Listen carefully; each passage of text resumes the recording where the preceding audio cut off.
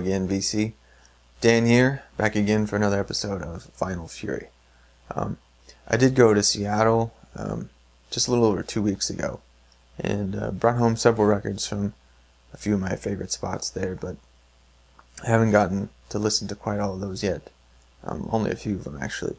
So I'm going to save those for the next video, but I do have several new records that I have to show. Um, first being the new album from Beck, Morning Phase, which is just incredible. Um, there, are, as you probably know, there's several different versions of Beck and um, his music over his career. This is the Beck that I like the most, uh, the Beck that made Sea Change in 2002.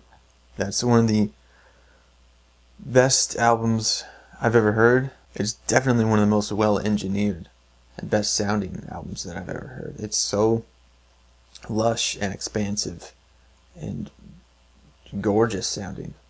And uh, he's definitely continued that vibe on this. Um, several songs that could almost be on that album, even. Um, similar instrument sounds and uh, large uh, reverb and room sounds. But uh, just another fantastic record, perfect companion piece to that album. Um, but definitely a great album in its own right. Uh, I, I mean, I can't say enough about it. It's just really good. It's a 10. Um, and like I said of Sea Change, this kind of album is just a music lover's dream. Like it's it's a universal sound to me.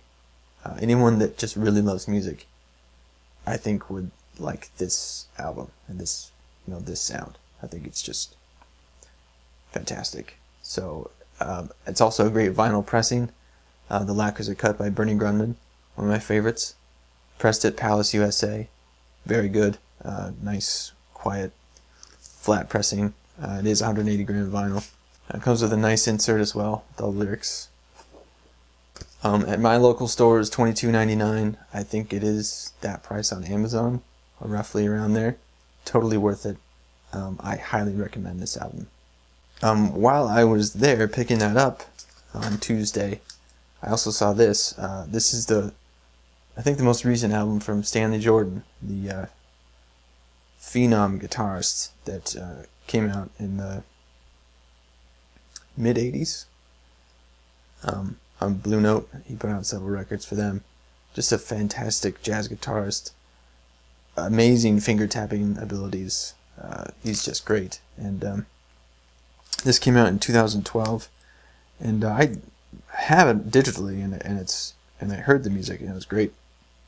But uh, the vinyl pressing is usually around $28 or more. I thought that was a little too much, but uh, I saw this. Um, it was at a used price because it was a uh, promo copy, uh, kind of the equivalent of a cutout. But uh, it was only sixteen dollars, still sealed and everything. So I thought that was totally reasonable. It's a double LP on 180 gram vinyl.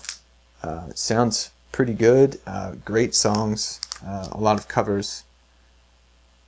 Um, even covers "I Kissed a Girl" by Katy Perry, and turned out much better than I would have even expected. It only bears resemblance to that song at a few points, actually. But uh, he's got a lot of people. It's called Friends, and he has a lot of musicians on here with him. Some of them that I recognize are Regina Carter, Charlie Hunter, Ronnie Laws, and there's a whole bunch of people there. And the, the uh, back photo is him and some of these friends, but there's actually like six or seven versions of him in there, dressed in different costumes and stuff. It was kind of cool. But uh, 16 bucks, totally worth it. Um, great album. He's still just a phenomenal guitarist. Um, he's in his 50s now. He seems like 55. Doesn't really look it, but uh, I hope that he comes around and plays a show locally because I'd love to see him play. Definitely. Next is the debut full length from the band Crosses, which is stylized with these three crosses together. And this band is a side project of Chino, vocalist of Deftones and Team Sleep and Palms.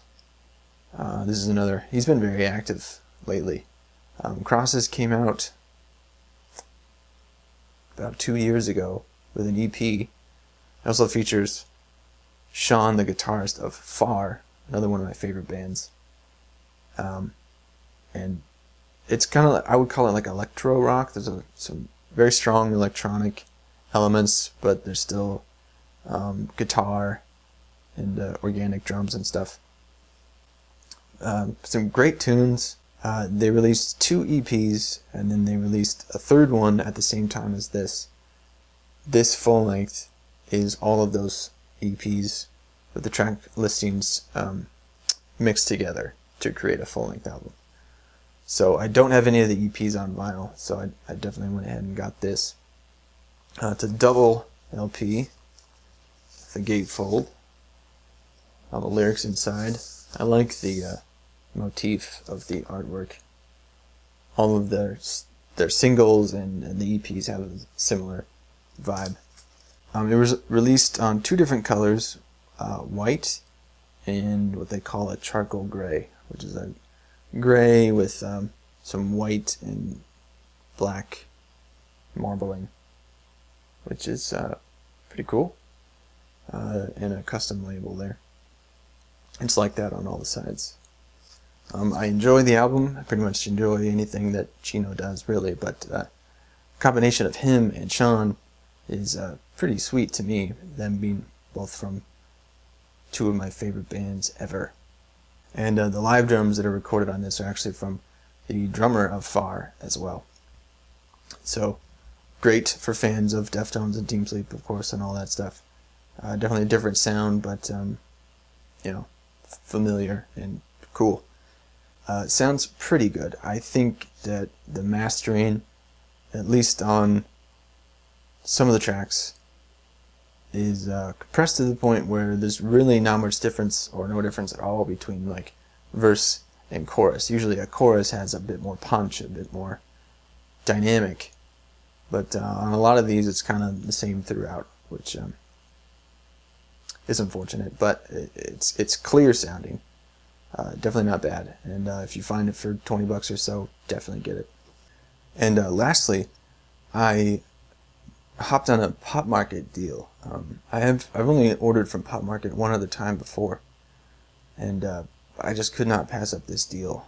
Um, so I got that package today, and to my surprise, it was in this huge box.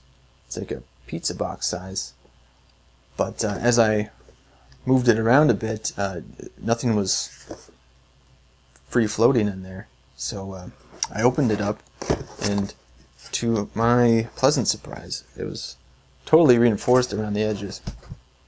And the records were in here with this uh, kind of almost like a seatbelt over them. And these tabs here, the records were sitting on those, so they were not touching any edge or the, the top of the bottom. They were just, um, just kind of safely cradled in this thing, which I thought was a sweet design.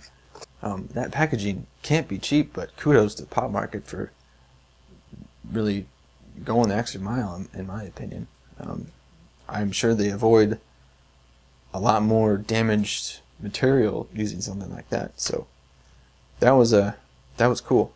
But the deal that I got was a great one, and uh, it's the first two albums from Helmet, uh, Strap It On and Meantime, and these are remastered reissues from ORG, which I've been a big fan of. They've done some great work with mostly 90s alternative rock stuff Nirvana, Failure, and Helmet. Um, and they've done a really great job. Um, so this is on black vinyl. This one is actually it was described as a uh, red and blue mix, but it's really kind of a just a deep purple, and you probably can't even tell. No, uh, you'd have to backlight it to really see. But even when you do, it's uh, it's very dark, but uh, it's still cool nonetheless. Uh, so being that I just got them, I only listened to Strap It On so far, just before I made this video, but it sounded great, and um, it was a fantastic deal. Um, somebody had posted on a message board about it, or else I wouldn't have known.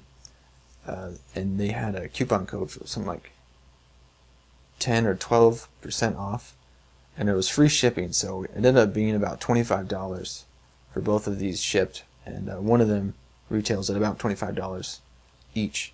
So basically buy one get one free, which is a phenomenal deal. I I passed these up because, um, you know, I, I love Helmet and uh, I love these records, even though their later stuff is my favorite.